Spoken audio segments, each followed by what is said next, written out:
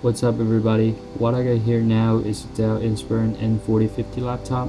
This laptop is currently 5 years old and takes about 2 minutes to start up. In this video, I'm going to show you how you can turn this old computer into a crazy fast ultrabook-like machine. So without further ado, let's go ahead and pop the hood.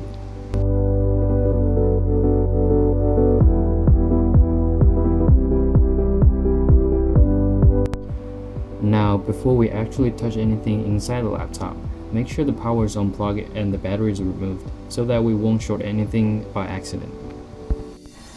Now let's start to take out the screws. There are 8 screws in the back that we need to remove. I recommend use a magnetic screwdriver, well if you don't have one that's okay. You can simply attach a magnet to it. All the screws that are holding the panels are actually the same size for the screws, so don't worry about mixing them up. I really like the idea of using standard Phillips screws without any strong adhesives, which makes it really easy to take them out. So thumbs up for the old times.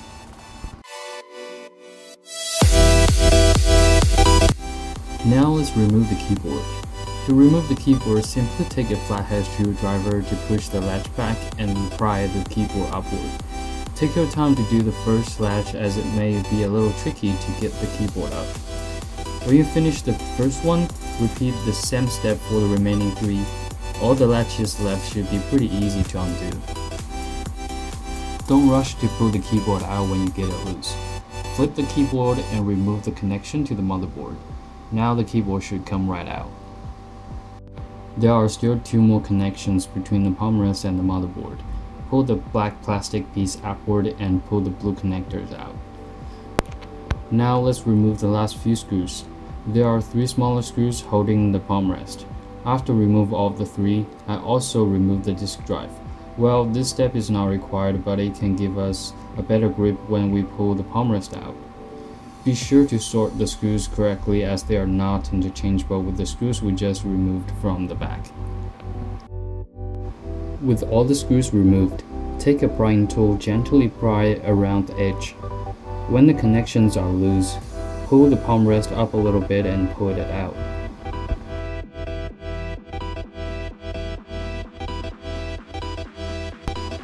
I added extra 4 GB of RAM to this computer because I think the current 2 GB of RAM is a little too small for the 64-bit version of Windows 10 I'm gonna install.